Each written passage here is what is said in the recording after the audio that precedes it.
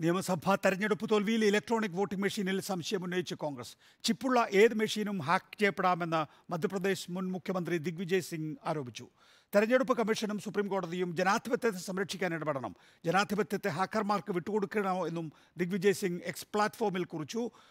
National ഡെസ്കിൽ നിന്നും ബിനിൽ പോത്തൻ. ബിനിൽ പ്രധാനമായും ദിഗ്വിജയ് സിംഗ് ചൂണ്ടിക്കാണിക്കുന്നത് ബാലറ്റ് പേപ്പറിലൂടെയുള്ള വോട്ടെടുപ്പ്. അതായത് പോസ്റ്റൽ വോട്ടിൽ നൂറ്റി തൊണ്ണൂറ് മണ്ഡലങ്ങളിൽ കോൺഗ്രസ് ആയിരുന്നു മുന്നിട്ട് നിന്ന് പിന്നെ എങ്ങനെയാണ് ഈ പാറ്റേൺ മാറുന്നത്? രണ്ടായിരത്തി മൂന്ന് മുതൽ താൻ ഈ വോട്ടിംഗ് മെഷീൻ എതിരായിരുന്നു എന്നും ദിഗ്വിജയ് സിംഗ് ചൂണ്ടിക്കാണിക്കുന്നു. ഇത് കോൺഗ്രസിന്റെ ആകെ സംശയമാണോ? നികേഷ് നിശ്ചയമായും നേരത്തെ തന്നെ കോൺഗ്രസ് ഈ വിധത്തിലുള്ള സംശയങ്ങൾ മുൻ തെരഞ്ഞെടുപ്പുകളിലെല്ലാം തന്നെ ഉപയോഗിച്ചിട്ടുണ്ട്. ഇലക്ട്രോണിക് വോട്ടിംഗ് മെഷീനുകൾ വ്യാപകമായി ഉപയോഗിച്ചു തുടങ്ങിയതിന് ശേഷം ബി ജെ പിക്ക് അസാധാരണമായ ഒരു വളർച്ച ഉണ്ടായി എന്നാണ് കോൺഗ്രസ് നേതാക്കൾ തുടക്കം മുതൽ തന്നെ ചൂണ്ടിക്കാട്ടുന്നത്. കഴിഞ്ഞ തെരഞ്ഞെടുപ്പുകളിൽ ഉൾപ്പെടെ കോൺഗ്രസിന്റെ തെരഞ്ഞെടുപ്പ് പരാജയങ്ങൾക്ക് പിന്നാലെ അതായത് വലിയ മാസീവായിട്ടുള്ള തെരഞ്ഞെടുപ്പ് പരാജയങ്ങൾക്ക് പിന്നാലെ നേതാക്കൾ ഇത്തരം കാര്യങ്ങൾ ഉന്നയിക്കാനുണ്ട് പക്ഷേ അപ്പോഴും ചില കാര്യങ്ങൾ ഇതുമായി ബന്ധപ്പെട്ടുകൊണ്ട് ദിഗ്വിജയ് സിംഗ് കേവലം ആരോപണങ്ങൾക്ക് അപ്പുറം നിന്നുകൊണ്ട് പറയുന്നുണ്ട്. മാധ്യമപ്രവർത്തകനായിട്ടുള്ള മലയാളി മാധ്യമപ്രവർത്തകനായിട്ടുള്ള രവി നായർ ചൂണ്ടിക്കാട്ടിയിട്ടുള്ള പ്രത്യേകിച്ച് ഈ ഹിൻഡൻബർഗ് അദാനിക്കെതിരായ ഹിൻഡൻബർഗ് റിപ്പോർട്ട് ഉൾപ്പെടെ പുറത്തു കൊണ്ടുവരികയും ചെയ്തിട്ടുള്ള O C O R P ടീമുമായി ബന്ധപ്പെട്ട് പ്രവർത്തിക്കുന്ന രവി നായരുടെ ട്വീറ്റിനെ റീട്വീറ്റ് ചെയ്തുകൊണ്ടാണ് എക്സ് സമൂഹ മാധ്യമത്തിൽ റീകോട്ട് ചെയ്തുകൊണ്ടാണ് ഇപ്പോൾ എന്തായാലും ദിഗ്വിജയ് സിംഗ് ഈ ആരോപണം ഉന്നയിക്കുകയും ചെയ്തിട്ടുള്ളത്. കൂടുതൽ കോൺഗ്രസ് നേതാക്കളുടെ ഭാഗത്തു നിന്ന് പ്രതികരണം ഉണ്ടായിട്ടില്ല. ദിഗ്വിജയ് സിംഗിന്റെ ആരോപണം ആദ്യം പറയാം. ചിപ്പുള്ള ഏത് മെഷീനും ഹാക്ക് ചെയ്യാൻ സാധിക്കും.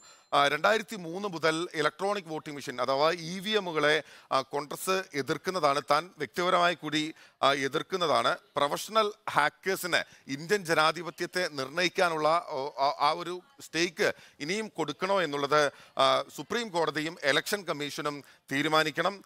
ഒപ്പം തന്നെ ഇതൊരു അടിസ്ഥാനപരമായ ക്വസ്റ്റ്യൻ ചോദ്യമാണ്. എല്ലാ രാഷ്ട്രീയ പാർട്ടികളും അഡ്രസ്സ് ചെയ്യേണ്ട അടിസ്ഥാനപരമായ ഒരു ചോദ്യമാണ് എന്ന് പറഞ്ഞുകൊണ്ടാണ് ഇപ്പോൾ ദിഗ്വിജയ് സിംഗ് ഇക്കാര്യം ആരോപിക്കുകയും ചെയ്തിട്ടുള്ളത്. എന്തായാലും അതിനോടൊപ്പം തന്നെ മറ്റു ചില ഇതുമായി ബന്ധപ്പെട്ട ചില ഡാറ്റകളും ദിഗ്വിജയ് സിംഗ് ചില മാധ്യമ പ്രവർത്തകരുടെ ഡാറ്റകളും ദിഗ്വിജയ് സിംഗ് തന്റെ എക്സ് സമൂഹ മാധ്യമത്തിലൂടെ റീകോട്ട് ചെയ്തിട്ടുണ്ട്.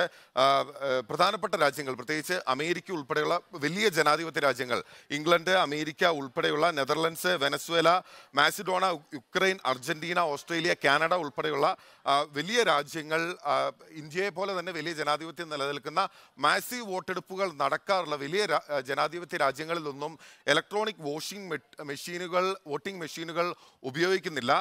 പക്ഷേ മറ്റു ചില രാജ്യങ്ങൾ ഇന്ത്യ ഉൾപ്പെടെയുള്ള രാജ്യങ്ങളാണ് ഉപയോഗിക്കുന്നത്. മാത്രമല്ല രവി നായർ തന്റെ ട്വീറ്റിൽ പറയുന്നത് ദിഗ്വിജയ് സിംഗ് ആവർത്തിക്കുകയും ചെയ്യുന്നുണ്ട്.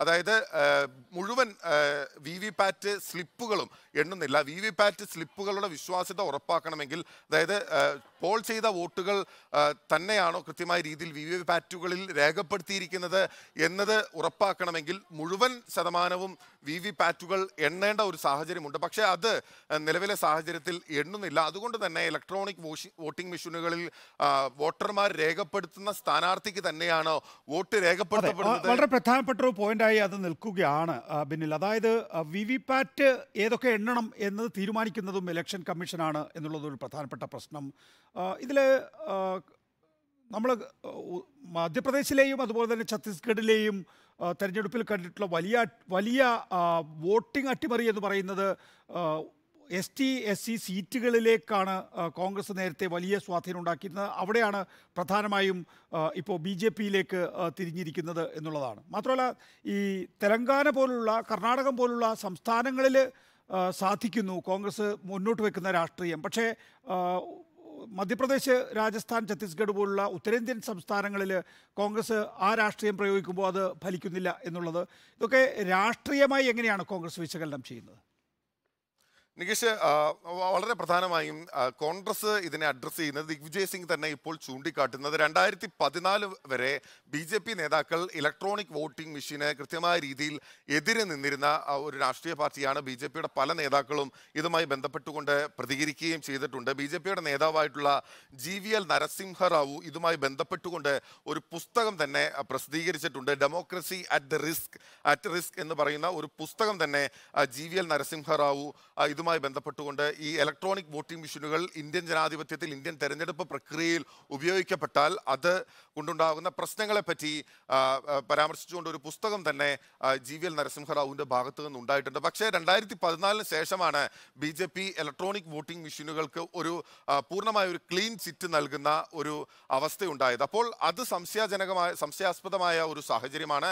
ഹാക്കർമാരെ കൊണ്ട് നിയന്ത്രിക്കാനാവാ ആവുന്ന സാഹചര്യമുണ്ട്. പിന്നെ നികേഷ് ചൂണ്ടിക്കാട്ടിയതുപോലെ തന്നെ ദക്ഷിണേന്ത്യൻ സംസ്ഥാനങ്ങളിലാണ് കോൺഗ്രസിന് വലിയ രീതിയിലുള്ള വിജയങ്ങൾ ഉണ്ടാക്കിയെടുക്കാൻ സാധിക്കുന്നത്. പക്ഷേ അതേ തെരഞ്ഞെടുപ്പ് തന്ത്രം അതേ ടീമുമായി പ്രത്യേകിച്ച് പൊളിറ്റിക്കൽ സ്ട്രാറ്റജിസ്റ്റുകളെ കൊണ്ടാണ് കോൺഗ്രസ് കുറച്ചേറെ നാളുകളായി ഇപ്പോൾ തെരഞ്ഞെടുപ്പുകളെല്ലാം തന്നെ നേരിടുന്നത്. അപ്പോൾ അതേ പൊളിറ്റിക്കൽ സ്ട്രാറ്റജി പിന്നോക്ക വിഭാഗങ്ങൾ കൂടുതലുള്ള ആദിവാസി ഗോത്ര വിഭാഗങ്ങൾ കൂടുതലുള്ള സംസ്ഥാനങ്ങളിൽ അല്ലെങ്കിൽ ആ മണ്ഡലങ്ങളിൽ ഉൾപ്പെടെ അവിടേക്ക് ആ സ്ട്രാറ്റജി ഇംപ്ലിമെന്റ് ചെയ്യുമ്പോൾ അത് നടപ്പിലാകുന്നില്ല. മാത്രമല്ല ബി ജെ പിക്ക് വലിയ രീതിയിലുള്ള ഒരു വിജയം ഉണ്ടാകുന്നു എന്നുള്ളതാണ് കോൺഗ്രസ് നേതാക്കൾ പരസ്യമായും രഹസ്യമായും പറഞ്ഞുകൊണ്ടിരുന്നത്. അപ്പോൾ ഇതിൽ ഈ ഇലക്ട്രോണിക് വോട്ടിംഗ് മെഷീനുകൾക്ക് കാര്യമായ രീതിയിലുള്ള പങ്കുണ്ട്. ജനവിധം അട്ടിമറിക്കുന്നതിന് കാര്യമായ രീതിയിലുള്ള പങ്കുണ്ട് എന്നുള്ള ഒരു ആരോപണം തന്നെയാണ് ഇപ്പോൾ ദിഗ്വിജയ് സിംഗ് കൃത്യമായി തന്നെ ഞാൻ വരാം. ആ, ബിനിലിലേക്ക്